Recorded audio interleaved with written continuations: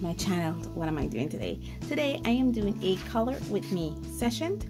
Um, I just literally just finished drawing this little number here in my new sketchbook. This is a small little sketchbook. It only has like 20 pages. And um, I basically made it this way because I want to use these in it. I've been getting into this crave of twisting crayons I know I got into the coloring pens, the, the, the coloring, the coloring crayons phase, and now I'm in the twistable crayon phase. And this is not another month of the crayons. I've featured these before, so in this video, we will be coloring a piece using these products. I am thinking July is going to be the month of using the art products reviewed in June. And um, we'll be doing that today. So I drew this piece and I was debating whether or not I want to use the scented crayons. And I'm like, yeah, I should, especially like how I have three out of the scented colors in here, which is banana, grape, and apple.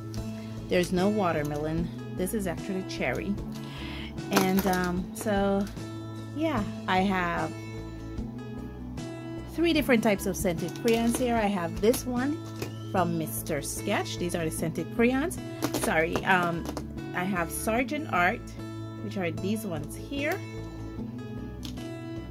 And these are not scented, sorry. I only have one scented crayons, and these are not scented. And I also have Bazic, which comes in a 12 set, and these are also not scented. So I only have one scented crayons, not three, one. But it's okay. It's really okay.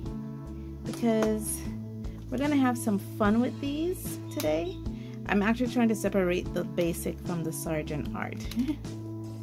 That's why I'm taking so long. yeah. So these are the Bazic. There are 12 crayons here. And these are the Sargent art. There's 8 crayons here. And then these 8 are scented crayons. So now that you see what I, work I am going to be doing, let me stop my blabbering and get to the coloring.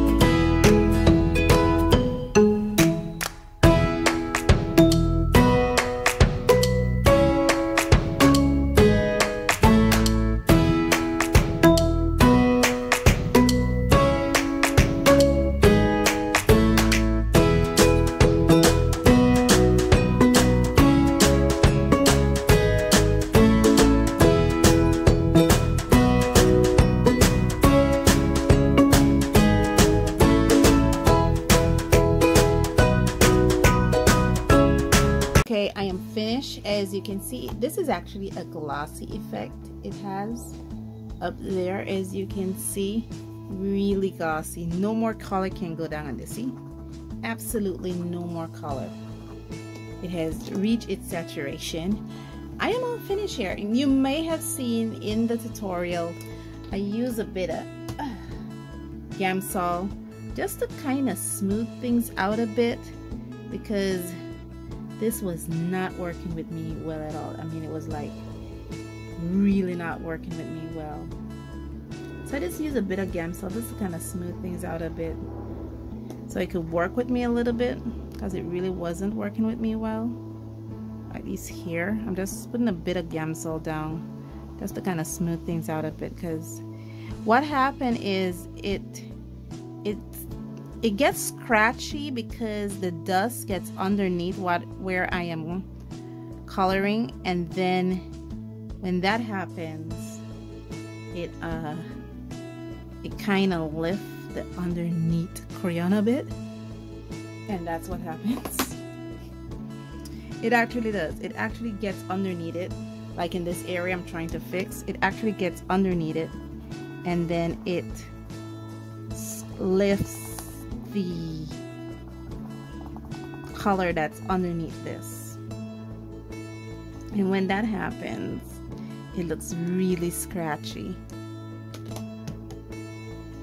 So for that reason you see me in my color with me portion where I used that brush a lot to kind of sweep away some of the dust before going back in there and rendering again. Just so that it doesn't leave that scratchiness. I'm just trying to smooth it out a bit. Just so I could add some shadow definition to kind of ground these fruits onto this paper. You can see it does produce a lot of wax dust. A lot. I've been using my vacuum here to kind of scoop it up in and put it in the garbage.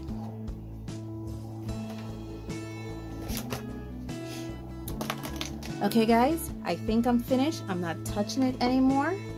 I am putting away the Gamsol. Let me know what you think. Sorry, I've been hitting the camera a lot. Let me know what you think of this piece in the comments below. Um, wait, I'm not done. I'm not done. I'm not done. I'm not finished yet.